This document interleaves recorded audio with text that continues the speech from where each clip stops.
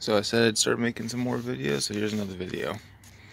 My uh, fan clutch is pretty loose right now, so I'm gonna replace that.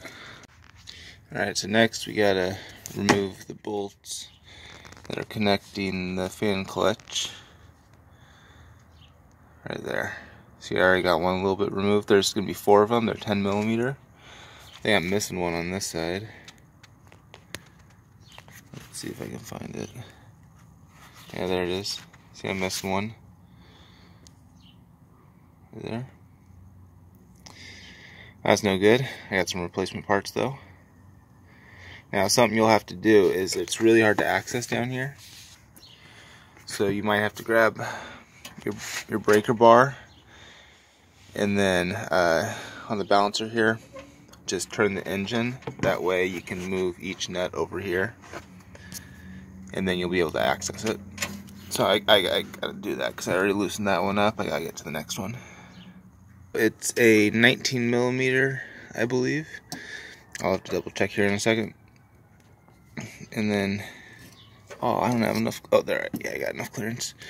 All right, and then you're just gonna, you know, spin it a little bit. Yep, 19 millimeter.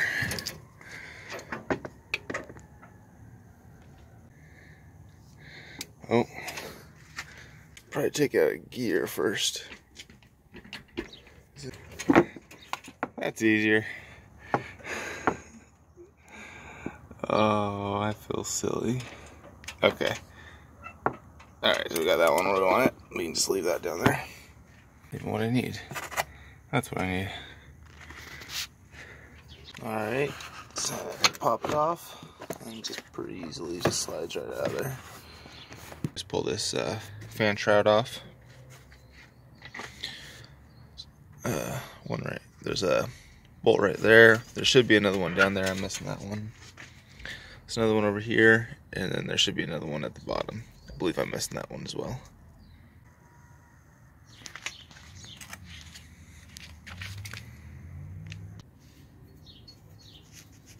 See, let's get one right here.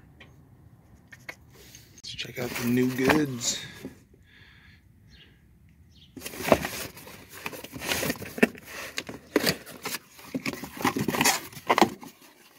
Oh, there we go.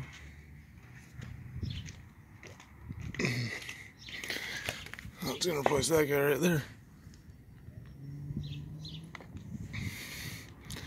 Let's get them bolts to take off.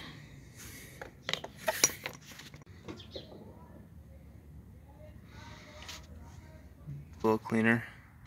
It's the best I can do right now, though. I'm going to be replacing all this stuff anyways here soon. So let's put the new clutch in the fan. And you can see I cleaned the fan up. It's pretty dirty.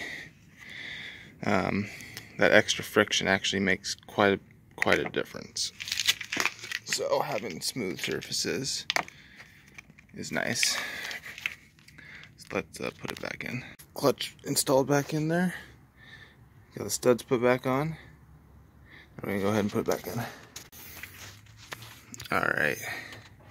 So got her put back on. Got all the bolts on. I will say this is the hardest part, getting those bolts back on. There's not a lot of space in there, and when everything's loose and wobbly, it uh, can get quite frustrating. And then you gotta go in circles over and over again, tightening it, because you don't want to tighten down one spot first. You want to kind of you know, go around. So it, it, it just takes a bit and it's frustrating. It's just forewarn you. Right, there we go, let's turn it on.